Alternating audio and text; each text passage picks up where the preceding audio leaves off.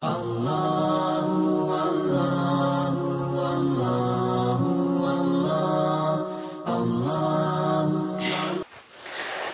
الله الرحمن الرحيم السلام عليكم ورحمة الله وبركاته الحمد لله رب العالمين والصلاة والسلام على أشرف الأنبياء والمرسلين وعلى آله وأصحابه ومن تبعهم بإحسان إلى يوم الدين أما بعد Hadirin jamaah salat maghrib yang dirahmati oleh Allah Subhanahu wa taala. Alhamdulillah kita bersyukur kepada Allah Subhanahu wa taala atas nikmat dan taufiknya kepada kita semua sehingga kita bisa berkumpul di tempat ini di salah satu rumah di antara rumah-rumah Allah Subhanahu wa taala untuk beribadah kepada Allah Subhanahu wa taala. Salam dan salawat kepada Nabi kita Muhammad sallallahu alaihi wasallam. Al-qail man shalla alayya salatan wahidah sallallahu alaihi biha ashran. Barang siapa yang bersalawat kepada aku sebanyak satu kali, maka Allah Subhanahu wa taala akan bersalawat kepadanya sebanyak sepuluh kali. Taib jamaah yang dirahmati oleh Allah Subhanahu wa taala, kita melanjutkan pembahasan kita pada buku Asy-Syama'il Al-Muhammadiyah karangan Al-Imam Abu Isa Muhammad bin Isa Tirmizi rahimahullahu taala. Dan kita masih berada pada bab tentang ketawaduan Nabi sallallahu alaihi wasallam. Dan kita uh, melanjutkan pada hadis ke-333 حدثنا واصل بن عبد الأعلى الكوفي قال حدثنا محمد بن فضيل عن الأعمش عن أنس بن مالك رضي الله عنه قال كان النبي صلى الله عليه وسلم يدعى إلى خبز الشعير والإهالة السنخة فيجيب. ولقد كان له درع عند يهودي fama wajada ma yafukuha hatta mata. Menceritakan kepada kami atau penulis rahimahullah taala mengatakan menceritakan kepada kami Wasil bin Abdul A'la Al-Kufi dia mengatakan menceritakan kepada kami Muhammad bin Fudail dari Al-A'mash dari Anas bin Malik dia mengatakan bahawa Nabi sallallahu alaihi wasallam diundang untuk jamuan khubzi syair uh, apa roti yang terbuat dari gandum syair dan ihalah ihalah kullu duhnin yuttakhadhu idaman. Uh, semacam keju uh, yang dijadikan sebagai lauk uh, artinya lauknya roti yang dimakan dengan roti. Wasanikhah as-sanikhah allati hasala laha syai'un min at-taghayyur fi fi at-ta'mi war-raihah uh, sanikhah yang sudah mulai berbau ya sudah mulai berbau dan sudah mulai berubah rasanya. Ya karena sudah lama. Nah.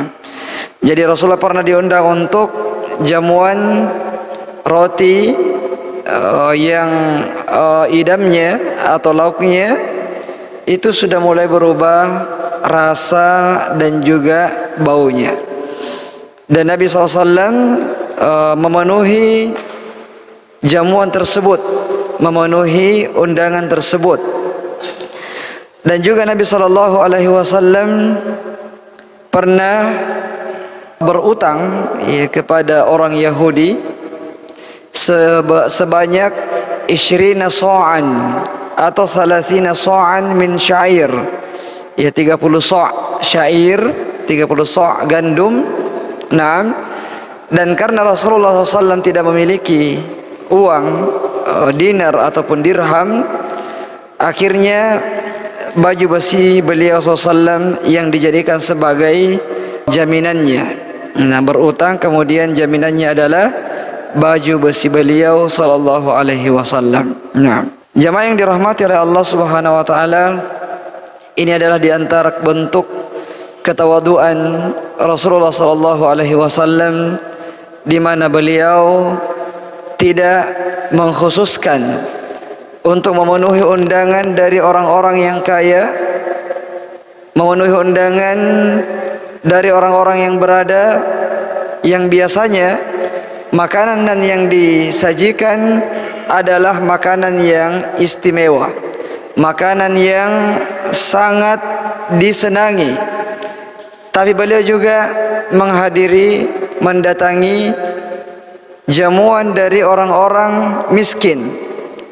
Jamuan dari orang-orang yang kadang-kadang makanannya itu tidak lezat. Yang kadang-kadang biasanya makanannya itu sangat sederhana. Eh, bahkan di dalam hadis ini bukan lagi sederhana. Eh, tapi bahkan sudah mulai berubah rasanya bagaimana makanan kalau lama tinggal ya sehari dua hari apalagi makanan yang basah itu akan sudah ada rasa-rasa basinya. Ya, sudah mulai ada bau-bau basinya meskipun belum basi. Dan Nabi SAW uh, memakan makanan tersebut karena disajikan kepada beliau sallallahu alaihi wasallam. Ini beliau adalah seorang nabi, seorang uh, pemimpin, seorang panglima perang, ya, seorang yang sangat disegani tapi dengan segala kedudukan yang dimiliki oleh Nabi sallallahu alaihi wasallam beliau memposisikan beliau diri beliau sebagai seorang hamba sebagai seorang manusia biasa yang akan menghadiri ya undangan-undangan jamuan-jamuan dari sahabat-sahabatnya. Nah, kemudian juga tentang masalah jaminan beliau. Ya di mana beliau sallallahu alaihi wasallam sebenarnya kalau beliau memilih untuk hidup sebagai orang yang kaya raya itu sangat memungkinkan bagi beliau sallallahu alaihi wasallam. Terutama di fase Madinah. Ya terutama di fase Madinah terutama di akhir-akhir. Ya di akhir-akhir masa atau keberadaan beliau oh, kehidupan beliau di Madinah di mana peperangan-peperangan banyak sekali terjadi dan banyak sekali ghanimah ya perang Khaybar, Fathu Mekah, ya terutama Fathu Mekah, uh, kemudian Hunain yang paling banyak adalah uh, perang Hunain. Nah, Ghazwah Ghazwah Hunain di mana dalam Ghazwah tersebut sangat banyak sangat banyak ghanimah yang didapatkan oleh Nabi sallallahu alaihi wasallam. Ya karena al-khumus seperlima itu adalah milik Allah dan Rasulnya. Ya, dan seperlima itu sangat banyak banyak sekali. Nah uh, tapi Nabi SAW memilih untuk membagi-bagikannya. Yang membagi-bagikannya ada yang dikasih 100 unta ada yang dikasih 200 unta ya itu sangat banyak 100 unta itu sangat banyak. Nah dan tidak menyisakan untuk beliau kecuali sedikit. Nah kecuali sedikit. Sehingga uh, kadang-kadang uh, di rumah beliau sallallahu alaihi wasallam ya kata istri-istri beliau kadang-kadang ya tiga bulan berturut-turut tidak menyala api di rumah. Tidak ada yang bisa dimasak. Yang kita makan hanyalah kurma dan air putih saja. Ya, kurma dan air putih. Dan dalam hadis ini pernah Rasulullah sampai berutang kepada orang Yahudi. Nah, berutang kepada orang Yahudi salasuna so'an 30 so' gandum. Nah tapi berutang uh, diberikan jaminan. Bukan sekedar utang saja tapi ada jaminan yang diberikan oleh Nabi sallallahu alaihi wasallam yaitu baju besinya dan yang namanya jaminan ya jaminan itu uh, hendaknya senilai dengan utang yang kita ambil atau di atas nilainya dari utang yang kita ambil karena fungsi dari jaminan adalah ya sebagai uh, barang yang akan dijual untuk melunasi utang-utang kita pada saat kita tidak mampu untuk membayarnya. Nah, dan di sini Nabi SAW di dalam hadis ini disebutkan bahawa beliau meninggal dunia ya dan belum belum bisa untuk membayar utang tersebut. Ya, dan ini bagi beliau bukanlah sebuah masalah karena kenapa? Karena ada jaminan yang yang disimpan. Uh, beda halnya kalau seseorang punya utang, nah punya utang dan terlihat padanya misalnya tanda-tanda kematian, sakit parah dan seterusnya, ya maka dia harus memikirkan bagaimana untuk segera bisa melunasi utang tersebut. Ya, kalau tidak ada jaminannya, kalau ada jaminan, oh, tidak ada masalah. Kenapa? Kalau meninggal dunia, jaminannya itu akan uh, menjadi pembayar utangnya atau jaminan tersebut bisa dijual untuk kemudian dipakai membayar utang-utangnya. Nah, ini adalah di antara bentuk ketawaduan Nabi sallallahu alaihi wasallam dan sekaligus iffah uh, menjaga kehormatan beliau. Ya beliau tidak mau tentu saja meminta-minta kepada orang lain, meminta-minta kepada uh, sahabat sahabat beliau uh, sallallahu alaihi wasallam. Nah, kemudian uh, hadis yang berikutnya Ya, jadi tentang uh, jaminan tadi di sini disebutkan hatta fakkaha Abu Bakrin radhiyallahu anhu ba'da mautin Nabi sallallahu alaihi wasallam. Beliau menebus uh, baju besi beliau dari orang Yahudi dari orang Yahudi tadi. Karena tentu saja ya baju besi beliau itu ada keutamaan karena ada asarnya.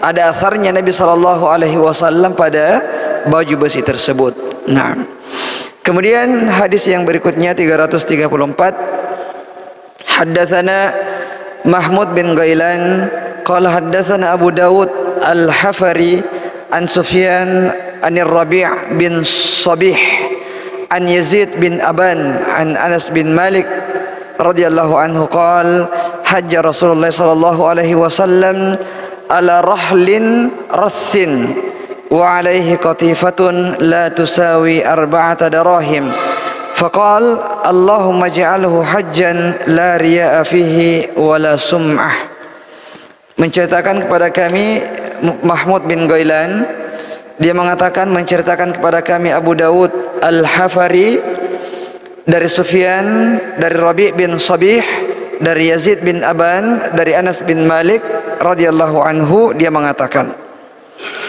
Nabi sallallahu alaihi wasallam menunaikan ibadah haji uh, ala rahlin rassin ya dengan mengendarai kendaraan yang sangat sederhana.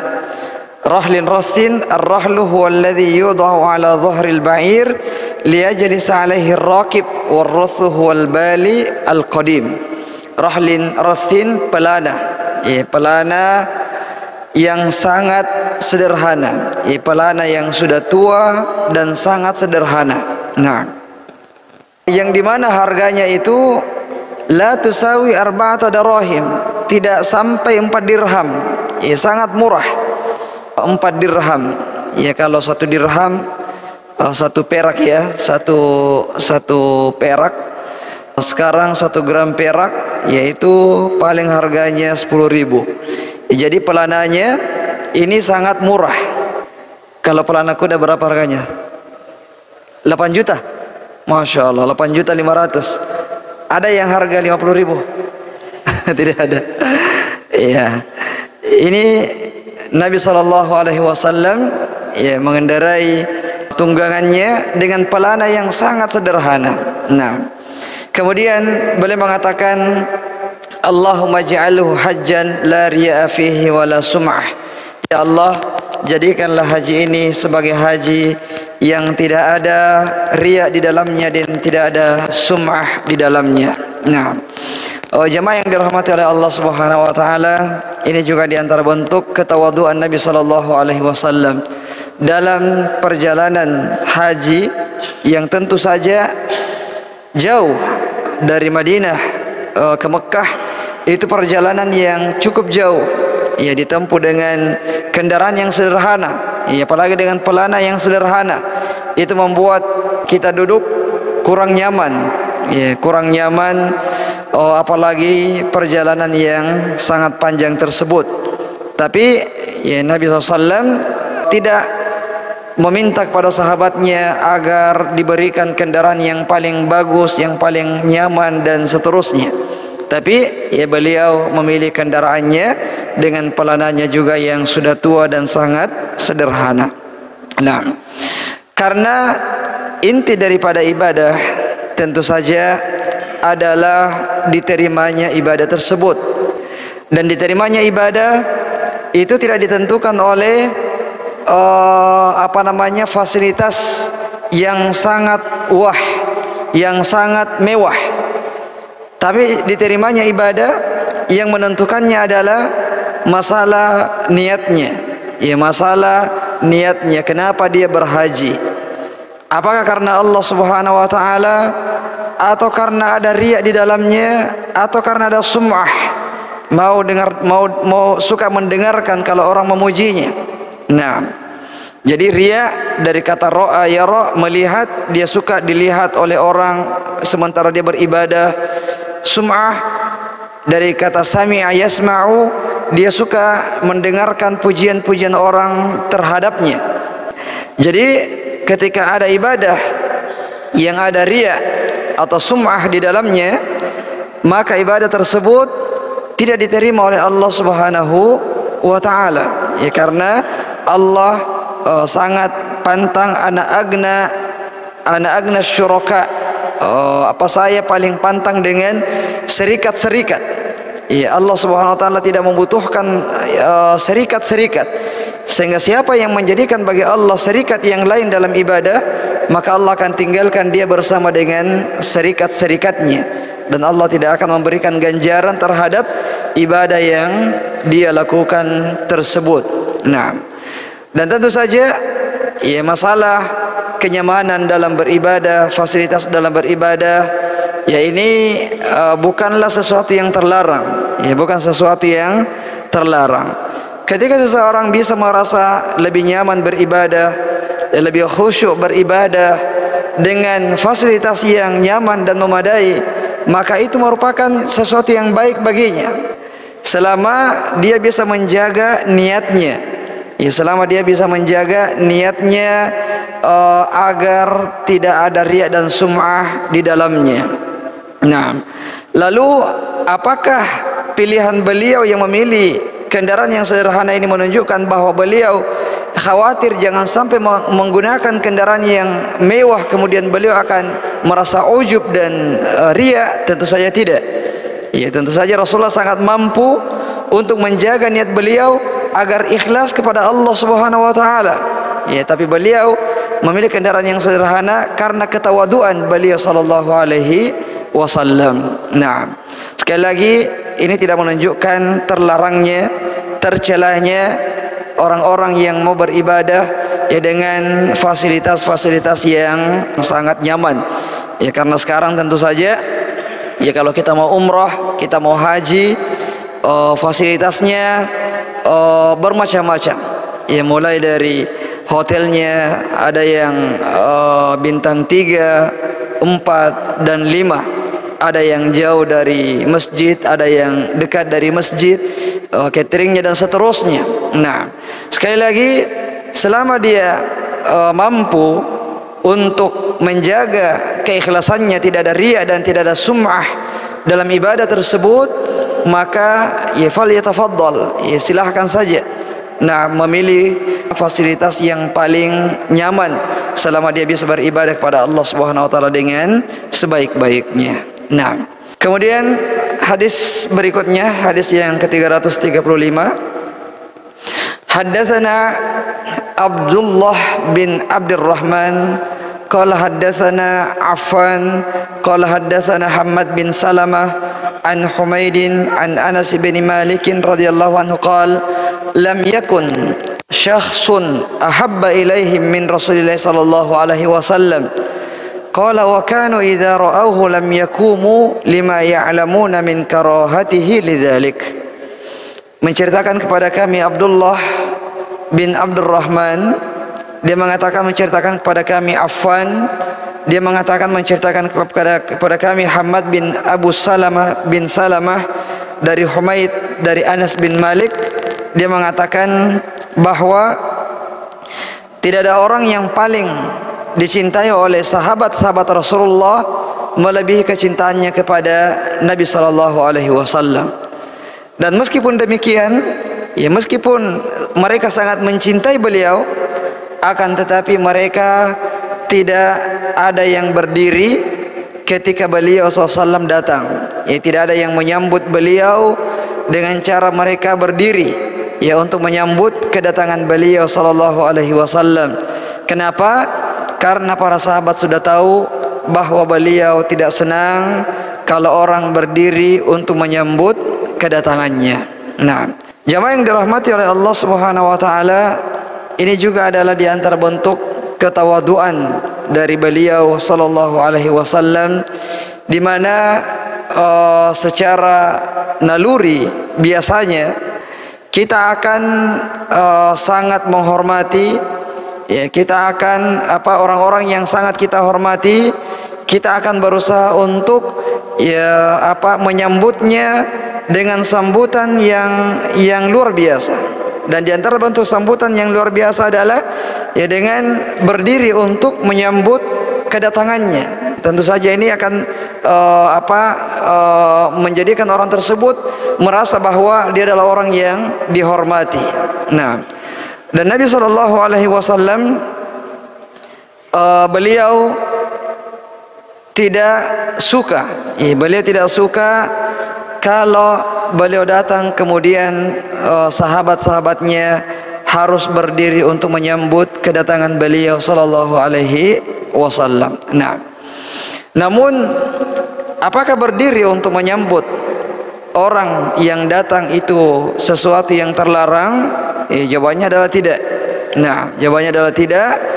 Uh, yang terlarang tentu saja adalah yang menghormati seseorang atau menyambutnya dengan uh, menundukkan uh, kepala kita ya, sampai seperti ruku ya sampai seperti orang yang ruku ya karena tunduknya terhadap orang-orang uh, tertentu karena ruku dan sujud ya ruku dan sujud hanyalah milik Allah Subhanahu wa taala. Ya, sama dengan uh, mattabi.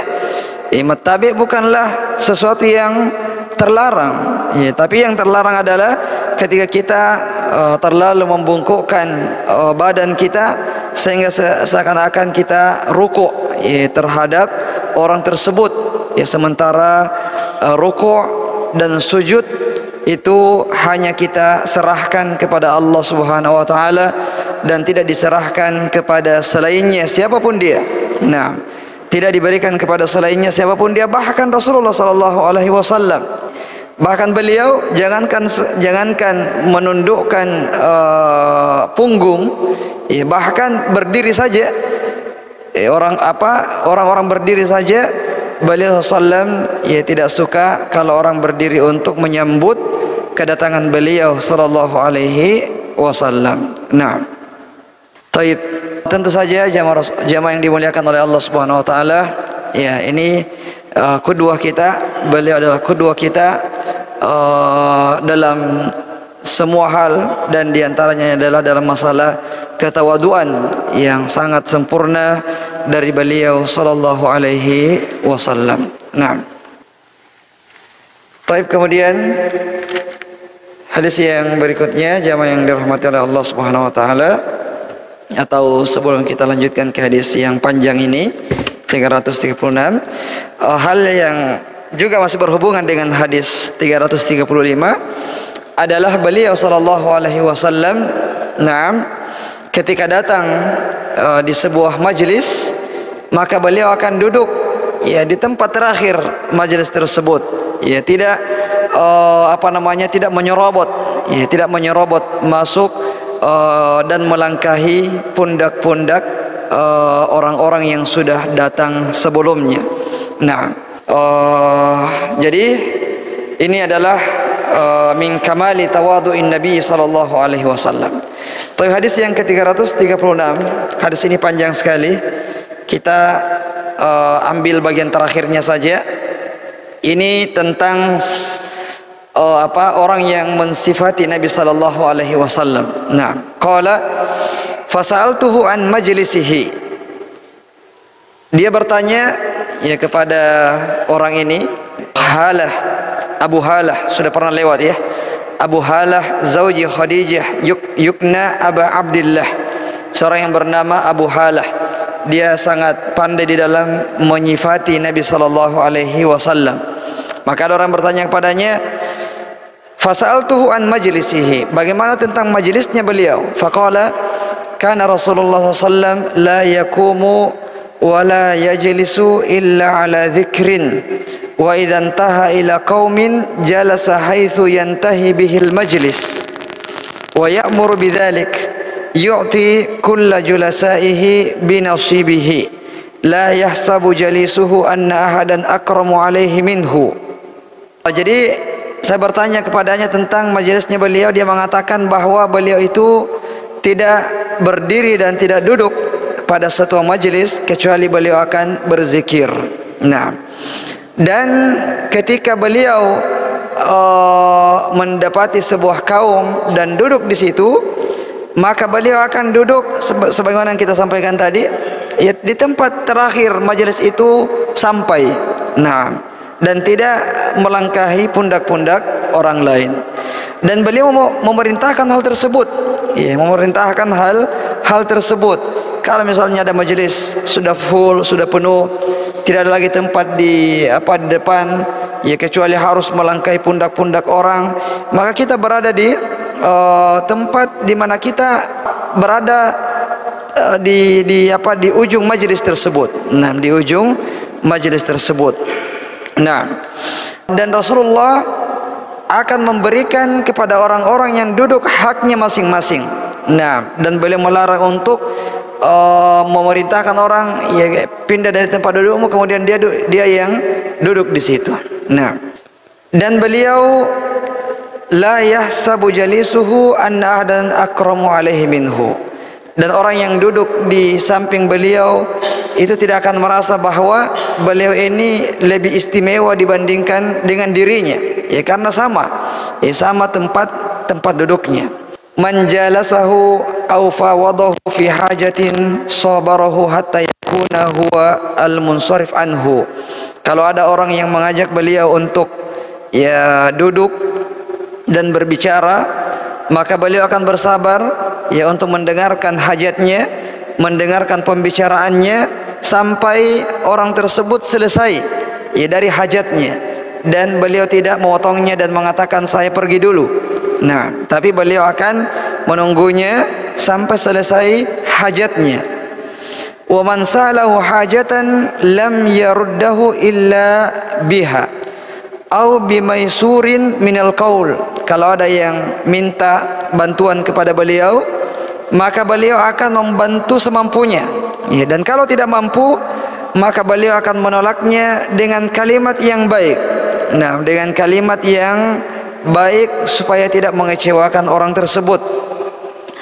Qad wasi'an nasa bastuhu wa khuluquhu fasara lahum aban wa saru indahu fil haqqi sawa.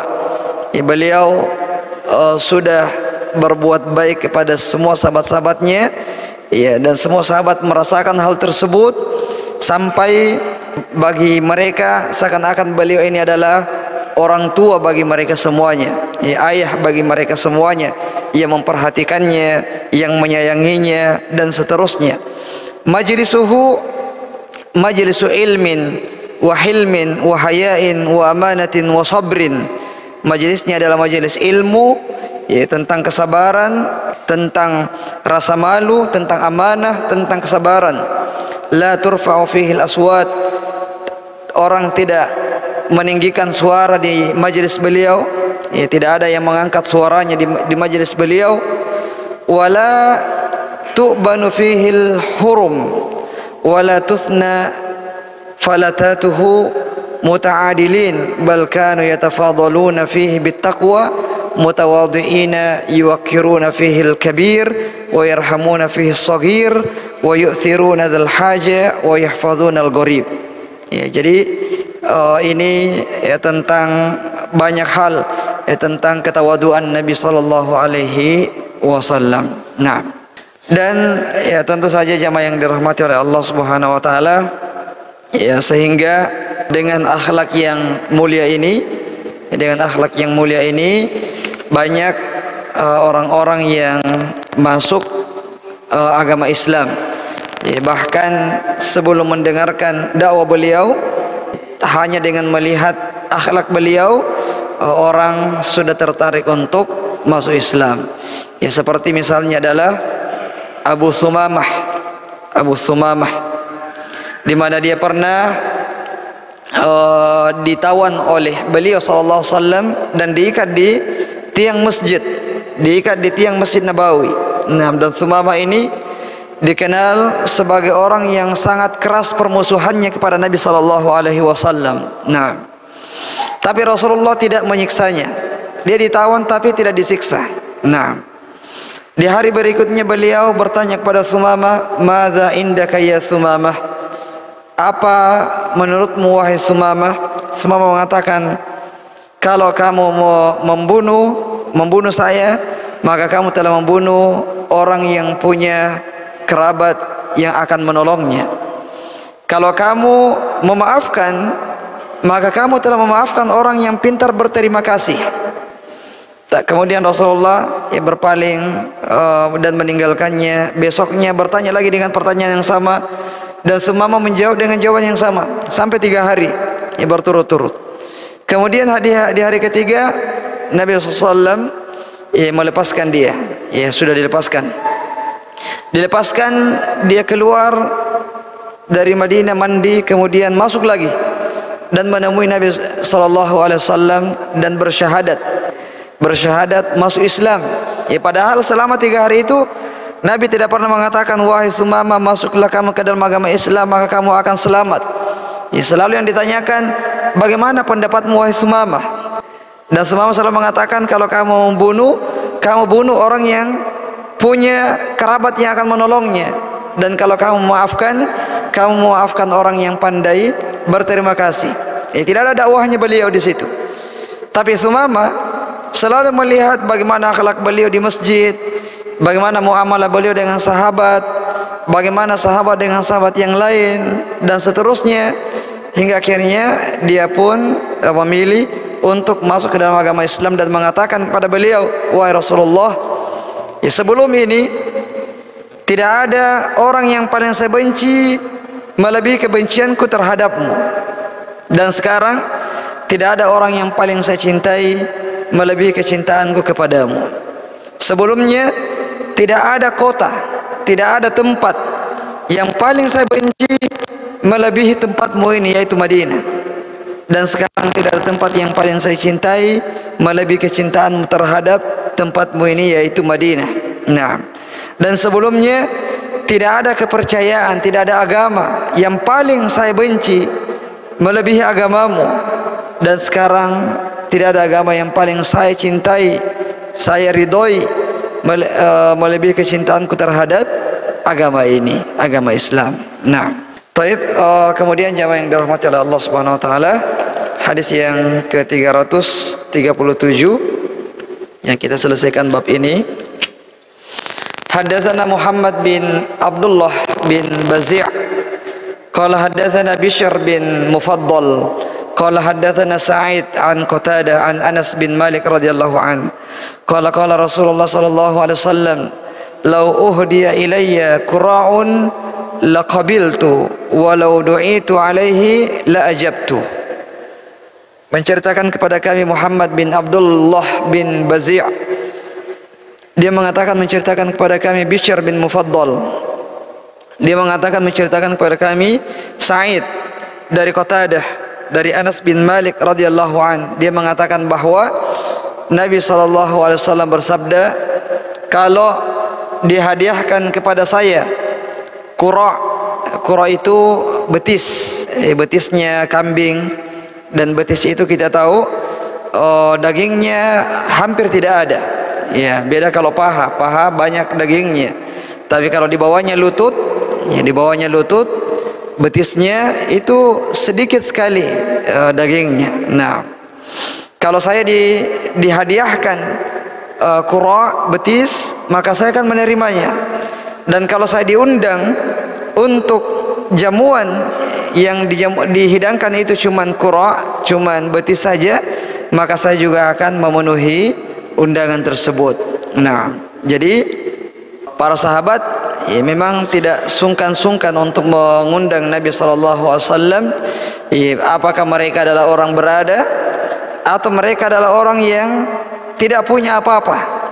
Karena ya kita mungkin kalau mau mengundang orang yang terhormat, kalau kita mau mengundang orang yang punya pengaruh, kemudian makanan yang ada yang akan kita sajikan uh, cuman betis saja, ya maka kita mungkin akan malu-malu, ya, mending tidak diundang, ya, mending tidak diundang.